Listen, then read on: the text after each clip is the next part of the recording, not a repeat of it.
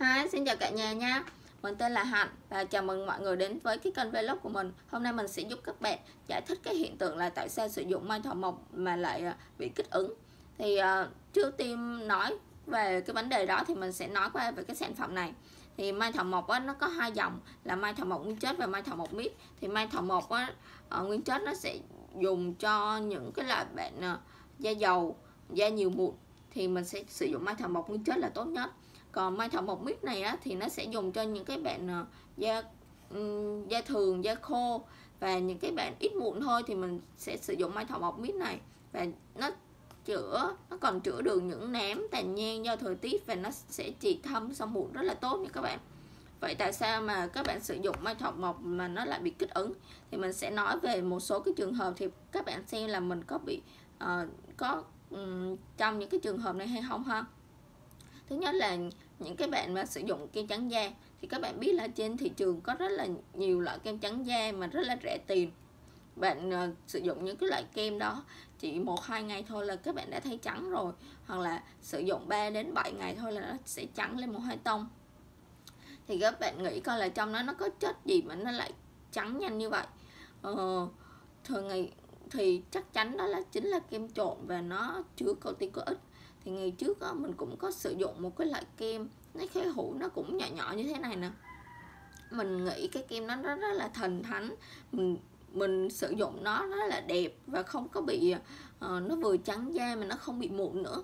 Thì mình kể cho các bạn nghe lúc đó mình sử dụng cái kem đó mà cái có một hai ngày đi mình không mình quên mình không bôi ấy khi mình thấy là da mình nó lên mấy cái mụn thì mình nghĩ là ừ chắc là do thời tiết hay là mình do ăn uống gì đó mình không bôi.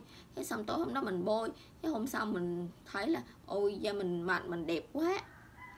Vừa mình vừa không có mụn mà nó kiểu như là lạnh hết cái mụn đó luôn nha. Không có mụn rồi uh, uh, đẹp quá. Cái mình cứ sử dụng liên tục vậy hết hộp này mình mua hộp khác hết hộp này mình mua hộp khác rồi, có tới một ngày, có một người bạn nói với mình là sử dụng mấy cái loại kem này là nó bào mòn da rất là ghê. Cái mình sợ mình không sử dụng nữa. Cái thì nó sẽ, nó, da da mình lúc đó nó bị nổi mấy cái mẩn mà, kiểu như là mặt trời, mình cứ nghĩ là mặt trời chiếu vào á. Thì da mình nó, kiểu như là, nó bị đỏ đỏ lên. Nhưng không phải đâu, lúc đó là da mình bị nhiễm corticoid rồi, nhưng mà mình không có biết. Mình, lúc đó là mình ngưng mà mình không có biết luôn á rồi mình sử dụng mấy cái loại đắp mặt nạ bình thường thôi đắp mặt nạ dưa leo rồi đắp mặt nạ uh, trái cây này nọ. Nhưng mà rồi nhưng mà da mình nó cũng không chịu luôn. Cảm giác nên cảm giác như mà nó bị ngứa ngứa rồi nó bị mặn mặn mặn mặn á. Đó là bị nhiễm corticoid nặng rồi đó mà mình còn không biết nữa. Sau thời gian đó mình phục hồi lại kiểu như mình để cho nó tự nhiên và mình sử dụng mấy cái đúng là mình sử dụng mấy cái loại uh, thiên từ thiên nhiên thôi thì nó mới phục hồi lại như ngày hôm nay. Mình sẽ nói cái quá trình đó sau cho các bạn nghe đó là những cái loại những bạn sử dụng kem kem trộn thì nó sẽ bị nhiễm corticoid thì bạn cứ nghĩ đi. Khi mà bạn bị nhiễm rồi thì bạn sử dụng cái những cái loại gì đi chăng nữa thì nó cũng không có tác dụng gì hết á. Nó cũng bị ngứa và nó cũng bị kích ứng thôi. Cái trường hợp thứ hai á, là những cái bạn mà sử dụng thuốc bắc thuốc rượu bong chóc da mà ừ, lúc đầu á, mình bong chóc được lớp đầu á, thì mình thấy nó đẹp nhưng mà các bạn cứ bong chóc hoài thì da làm mình chịu nổi đúng không? Mình da mình nó bong đi, rồi nó yếu đi thì nó không có sức đề kháng. Các bạn cứ nghĩ coi nhiệt độ thời tiết bây giờ mà mình cứ lên như vậy á, rồi làm sao mà nó có thể nào chống chọi với nhiệt độ, với cũng như là thời tiết, rồi bụi bẩn thì nó bị mụn lại và nó bị kích ứng là cái chuyện rất là bình thường. Vậy bây giờ mình lỡ bị như vậy rồi thì mình làm sao? Thì mình phải phục hồi lại ít nhất từ 3 đến 6 tháng thì mình mới có thể sử dụng được những cái sản phẩm trên thị trường cũng như là mai thảo mộc lúc da mình khỏe rồi á, thì mình có thể sử dụng được. Chứ bây giờ mà da mình đang yếu mà bạn còn tấp vào những cái sản phẩm, dù cho những sản phẩm mắc tiền đi chăng nữa, thì cũng không thể nào mà phục, cũng không thể nào mà, kiểu như là làm cho da mình khỏe lên liền được. Mà da mình phải có thời gian. Và, kiểu như là, nó phải tái tạo từ từ từ từ á. Chứ bạn muốn làm nhanh làm nhanh làm nhanh là sẽ hư hết hư hết da mặt của mình luôn và nếu như mà mình lỡ bị vậy rồi thì mình phải làm sao? Nếu như mà bắt mình kiêng mỹ phẩm từ 3 đến 6 tháng thì thời gian nó rất là dài mà mặt mình đang bị mụn như vậy mình cũng phải đi học đi làm phải giao tiếp với mọi người. Nhưng mà cái mặt mình như vậy thì mình rất là tự ti đúng không? Nếu như mà các bạn kiêng được 3 tháng rồi á mà các bạn muốn sử dụng cái sản phẩm này á, thì cũng có thể inbox trực tiếp cho mình. Mình sẽ gửi cái mẫu test cho các bạn. Thì các bạn về các bạn cứ bôi cái vùng này nè bôi một lớp mỏng thôi nếu như mà da mình nó không bị ờ, kích ứng không bị nổi mẩn đỏ gì á thì các bạn có thể sử dụng cái sản phẩm này để trị mụn. Thì các bạn cứ nhắn tin cho mình đi.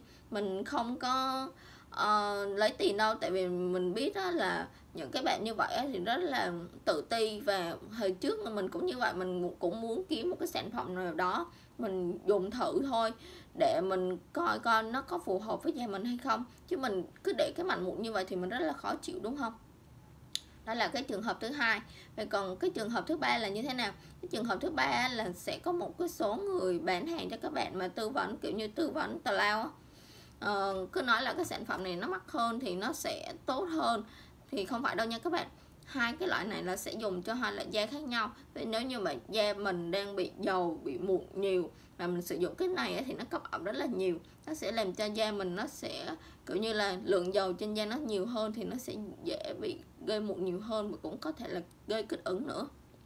Đó là một trong những cái trường hợp mà mình đã liệt kê cho các bạn.